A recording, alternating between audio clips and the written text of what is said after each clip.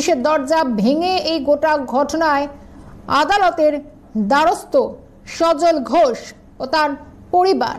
ইতিমধ্যেই হাইকোর্টে মামলা দায়ের করা হয়েছে সজল ঘোষের স্ত্রীর তরফ থেকে। এদিকে রাজ্যের শাসকের আইন চলছে। এমনটাই মন্তব্য করলেন সজল ঘোষের আইনজীবী তরুণ জ্যোতি তিওয়ারি।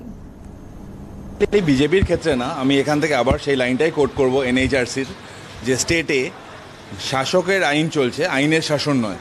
এই কেসটা তারও একটা প্রমাণ যে আমরা সবাই দেখেছি আপনাদের মিডিয়ার মাধ্যমে কীভাবে সজলদাকে অ্যারেস্ট করা হয়েছিল, কীভাবে বাড়িতে ঢোকা হয়েছিল, কোনো রকম নোটিশ না দিয়ে। তার বিরুদ্ধে আমরা মামলাটা করেছি, কতগুলো প্রেয়ার আছে আমাদের এখানে। প্রথমত যে পুলিশ অফিসার যারা ইনভলভ তাদের উপরে ডিপার্টমেন্টাল এনকোয়ারির জন্য প্রেয়ার করেছি।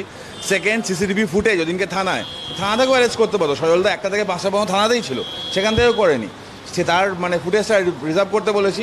আমরা কম্পেনসেশন চেয়েছি, আমরা ফ্যামিলির জন্য সিকিউরিটি চেয়েছি, কারণ এটা থানা থেকে এসে যেরকমভাবে দুষ্কৃতির মতো কাজ করল, এটা অনৈতিক। এটা police law enforcing agency law enforcing agency এরকম একটা কাজ করবে এটা ভাবাও যায় না।